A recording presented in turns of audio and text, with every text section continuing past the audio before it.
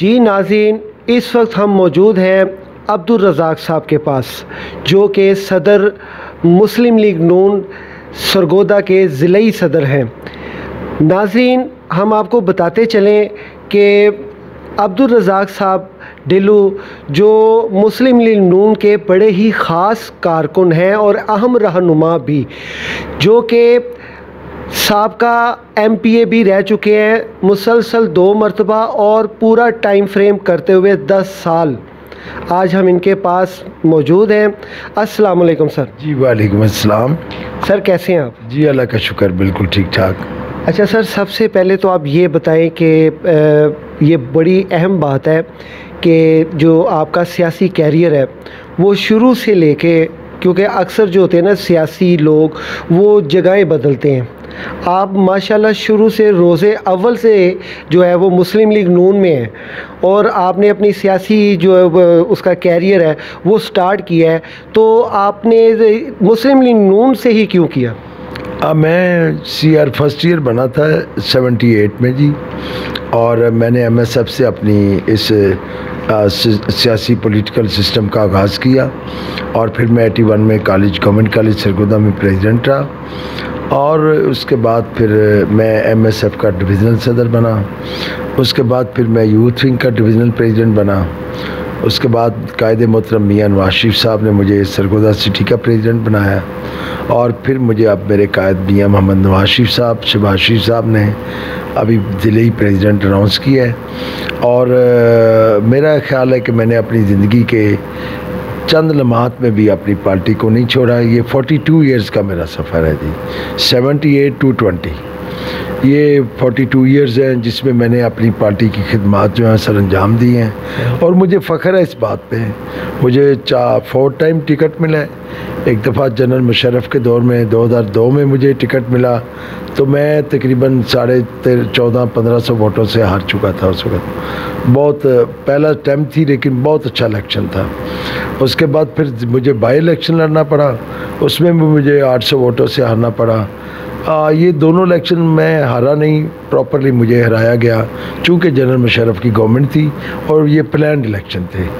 इसके बाद फिर 2008 में मियाँ साहब आए फिर हमें टिकट मिला फिर मैं पाँच हज़ार की लीड से जीता और फिर 2013 का इलेक्शन मेरा चालीस हज़ार की लीड से था। और मैं ये समझता हूँ कि सरगुदा अवाम ने मुझे इतनी मोहब्बत दी है और मेरी पार्टी ने मुझे इतनी इज़्ज़त दी है कि मैं वो बयान नहीं कर सकता। और ये इलेक्शन कॉन्टेस्ट करने के बाद 2018 में जब मैंने देखा कि शहर के हालात अच्छे नहीं और पार्टी का नुकसान होगा और बाकी जगहों पे भी ऐसा आपस में इख्लाफात जारी हैं तो मैं मियाँ शबाशी साहब के पास गया। मैंने उन्हें कहा, जी कि मैं अपना टिकट विड्रा करता हूँ और आप मुझे एम एन ए पे चौधरी हमद हमीद साहब और मेरी सीट पे डॉक्टर लियाकत और उसके साथ Rizwan Gill sahab P P P seventy eight पे। आप मुझे ये टिकट जो है ये नायद कर दें और मैं ये इलेक्शन लड़ूँगा। तो मियाँ साहब कहते हैं कि आप इलेक्शन नहीं लड़े। मैंने कहा जी मैं आपका इलेक्शन लड़ रहा हूँ। मियाँ साहब कहते हैं ढिलू साहब आपके पास टिकट है। टिकट के लिए तो लोग अपने अज़ीज़ व कारब छोड़ देते हैं। मैंने कहा जी मैं अपनी पार्टी का एक जानसार साथी हूँ। तो मैं मैं समझता हूँ कि ये मेरा हक है कि मैं पार्टी का मुश्किल वक्त में साथ हूँ। और फिर मैंने अपना इलेक्शन विड्रॉ करने के बाद अपने साथियों का इलेक्शन लड़ा और वो इलेक्शन जीत गया। आप मुजना कर लें खुशाब का पहले हमारी सारी, हमारी सीटें होती थी।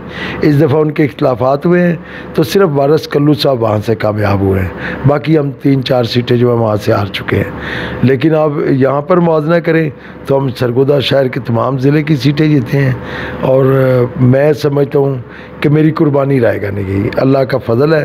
अल्लाह का करम है कि मुझे अपने आप पे फ़ख्र है। मैंने अपनी पार्टी की खिदमत की है। और मैं समझता हूँ ये टिकट वगैरह कोई चीज़ नहीं है। बस आपके कायद आपसे प्यार करें। आपके कायदीन आपसे मोहब्बत करें। उनको आपकी पहचान हो।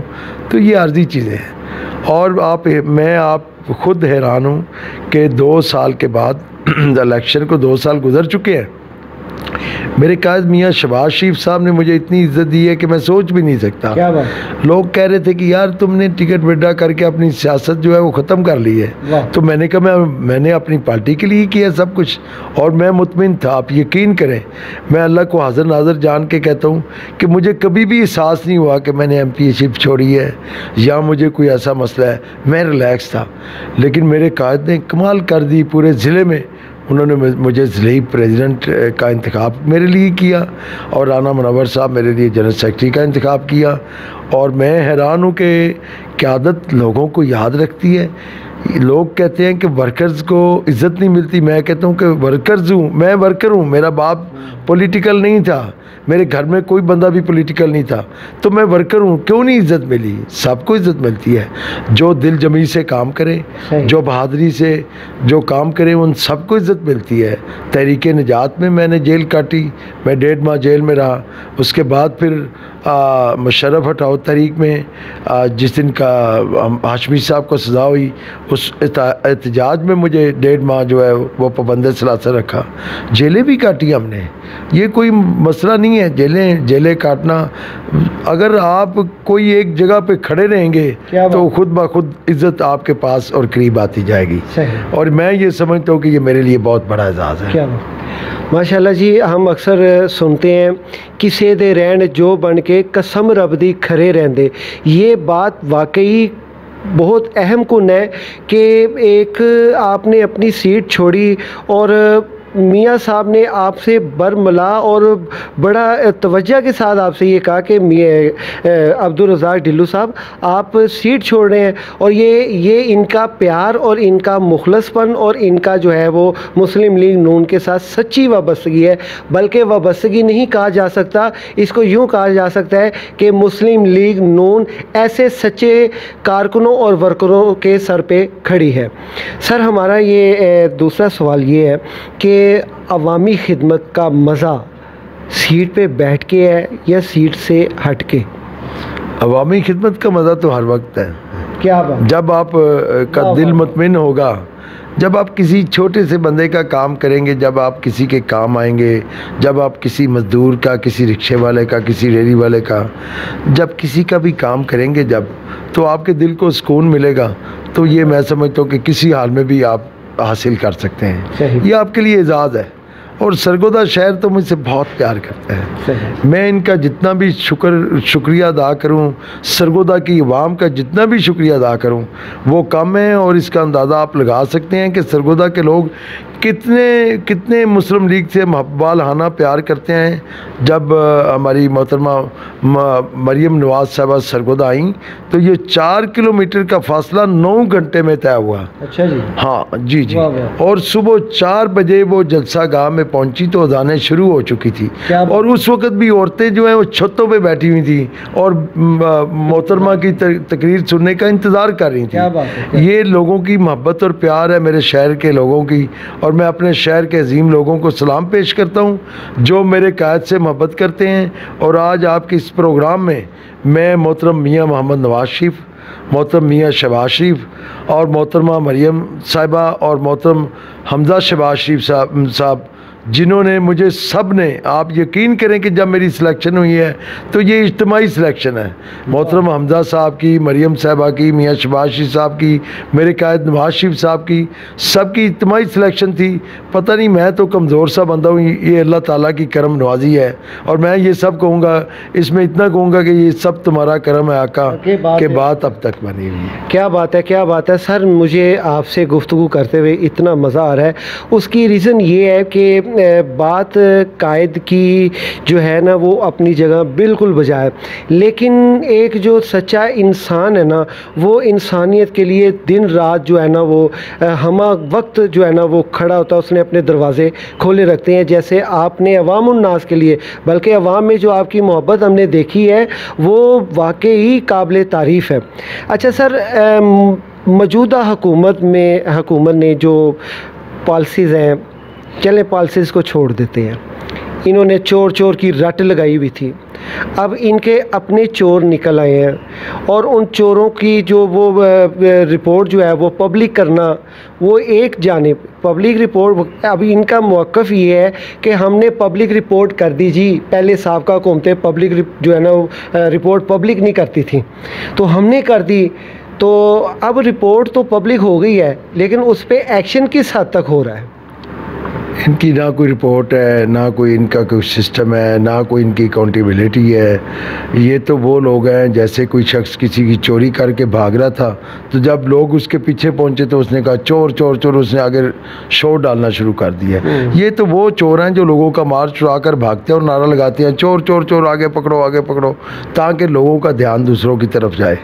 मैं ये समझता हूँ कि ना इमरान खान की कोई ज़बान ना इमरान खान का कोई ईमान ना इमरान खान के कोई फ़ैसले, ये तो किराए की गवर्नमेंट है, किराए पे आकर बैठा हुआ है, और ये इसके अपने बस में तो कुछ नहीं है, ना इसके नुमाइंदों के बस में है, और इन्होंने कहा कि हम गरीब को रोटी देंगे, इन्होंने कहा हम मज़दूर को खाना देंगे, इन्होंने कहा हम मिलें चलाएँगे, इन्होंने कहा हम फैक्ट्रियाँ चलाएँगे, इन्होंने कहा हम नया पाकिस्तान बनाएँगे, वहाँ पर सोने की इंटें होंगी, दूध की नहरें होंगी, और वो ऐसे आएगा, बस ऐसे लोग अवाम जो है, वो आसमान तक बातें करेगी और लोगों के पास बेतहाशा रिजक आ जाएगा, लेकिन इन्होंने तो सबको तबाह कर दिया। ना इन्होंने ताजर रहने दिया, ना इन्होंने कोई गरीब रहने दिया, ना इन्होंने कोई घर किसी को दिया। जिनके घर थे वो भी उजाड़ दिए, उनको गिरा दिया। और जिनके पास तनख्वाहें थी, वो भी इतनी महँगाई कर दी कि वो अपने बच्चों को खाना खिलाने पे भी पे भी बहुत मजबूर हैं और गरीब लोग खुदकशियों पे आ चुके हैं। पता नहीं मैं ये समझता हूँ कि ये कैसा शख्स है। ये तो मैं समझता हूँ कि इसको वर्ल्ड कप ही नहीं जीतना चाहिए था। उस वर्ल्ड कप ने हमारी कौम का बेड़ा गर्क कर दिया। एक न्याजी सेवेंटी वन में इस मुल्क को आधा तोड़ के चला गया। और वो बुजदिल न्याजी था और दूसरा न्याजी इस पाकिस्तान में आके पाकिस्तान की मीशत को तबाह कर गया। और ये दो न्याजी हमारे पाकिस्तान के लिए काफ़ी हैं। खुदा के लिए इन ताला, अल्लाह के हुक्म से आप देखिएगा, अवाम इससे कब जब बहुत जल्द जवाब लेगी। अब ये गवर्नमेंट ठहरने वाली नहीं है। दो ढाई साल की गवर्नमेंट के बाद गवर्नमेंट का पता चल जाता है कि वो अपनी पॉलिसीज़ क्या देगी। इनके पास ना कोई पॉलिसी है, ना कोई सिस्टम है, ना कोई निज़ाम है, ना कोई लोग काम करने वाले हैं। मैं जी इतने टेक्नोक्रेट्स लेकर आऊँगा ढाई सौ, मैं ये करूँगा, मैं वो करूँगा, इनके पास कुछ भी नहीं है। ये सब झूठ का पलंदा है और ये सब बिल्कुल एक बिल्कुल एक कच्ची सी बुनियाद है। ये किसी वक्त भी तेज़ बारिश होगी तो इन ताला सब कुछ गिर जाएगा। सही। अच्छा सर, ये जब भी पार्लियामेंट में या कहीं भी पाकिस्तान तहरीक इंसाफ के जो हुकूमत में लोग मौजूद हैं, वो अक्सर ये कहते हैं, जी, हमने बहुत बड़ा काम किया है कि हम माफियाज़ को पकड़े हैं। सत्तर साल पुराना जो है ये, इसके अंदर जो करप्शन है वो साफ़ कर रहे हैं, ये इतनी जल्दी नहीं होगी। बहुत खूबसूरत माफिया को पकड़ा उन्होंने। आप देख लें कि चीनी पचास रुपये थी आप एटी पचा पचासी के करीब पहुँच गई है।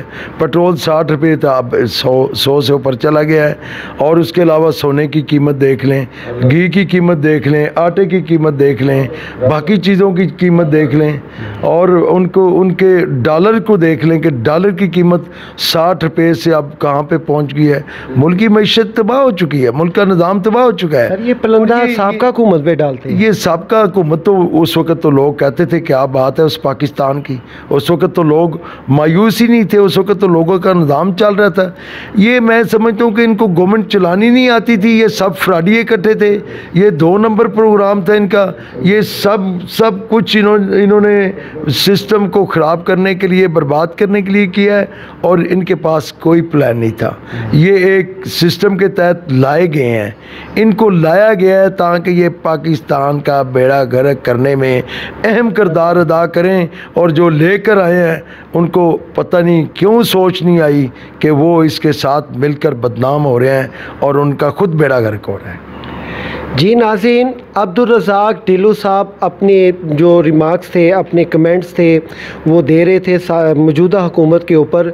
नाजिन इसमें कोई शक नहीं। इस वक्त जो है ना, मेरा ख्याल है, ये अपोजिशन में मौजूद है। इनकी बात अलग है। मैं जर्नलिस्ट हूँ, मेरी बात अलग है। बच्चे से लेके बड़े तक, बड़े से लेके बुज़ुर्ग तक, मैं, हम विज़िट करते हैं, हम देखते हैं सर्वे करते हैं, हमें अपने सर्वे में इतनी ज़्यादा जो दानाई जो है ना, दानाई, वो लबे दराज में कहीं नहीं नज़र आई कि हर बच्चे को इमरान खान साहब के ऊपर वो बड़ी अच्छी स्पीच कर सकता है कि उनकी पॉलिसीज़ के ऊपर और उनके मतलब के जो इस वक्त वो कारकर्दगी है उस कारकर्दगी के ऊपर। मेरा ख्याल है कि ये हमारे लिए लम्हा फ़िक्री है बल्कि इमरान खान साहब के लिए भी लम्हा फ़िक्री है कि इस वक्त कौम जो है वो आपसे बहुत बुरी तरह नाराज़ है। इस हद तक नाराज़ है कि वो खुद किस तरह बताएँ कि खुदकुशियों पर उतर है? उसमें उसमें इस इस हद तक नाराज़ है कि ये कहता था कि जब पाकिस्तान में महँगाई होगी तो इसका मतलब आपके वज़ी अजम चोर है। जब हम आईएमएफ से कर्ज़ा लेंगे तो इसका मतलब कि आपके वज़ी अजम को ख़ुदकशी कर लेनी चाहिए। आप सरगोदा के बच्चे, इस मुल्क के बच्चे, बूढ़े, नौजवान, ख़वातीन माएँ बहनें अब इस बात के इंतज़ार में हैं कि ये सारे वाक़ात तो पूरे हो चुके हैं। अब इमरान खान की ख़ुदकशी का इंतज़ार है उनको, कि वो ख़ुदकशी कब करेगा। जी नाजिन ये ये ये अलामत है और ये इस वक्त हालत है कि जो इस वक्त की हुकूमत है उनकी पॉलिसीज़ के ऊपर जो है वो आवाम कितनी सीख पा हुई हुई है। कैमरामैन चौधरी सुबहान के साथ अपने